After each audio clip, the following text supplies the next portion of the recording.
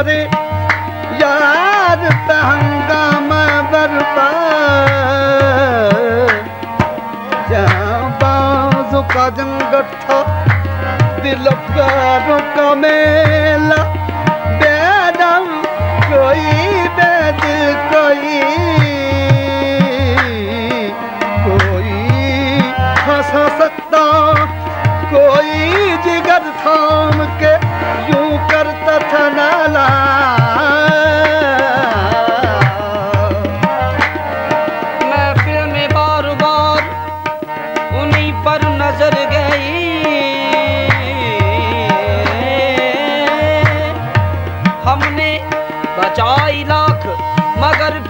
कर गई उनकी निगाह में कोई जादू जरूर था जिस पर पड़ी उसी के जिगर तक उतर गई सुर्ख आंखों में सुर्ख आंखों में काजल के डो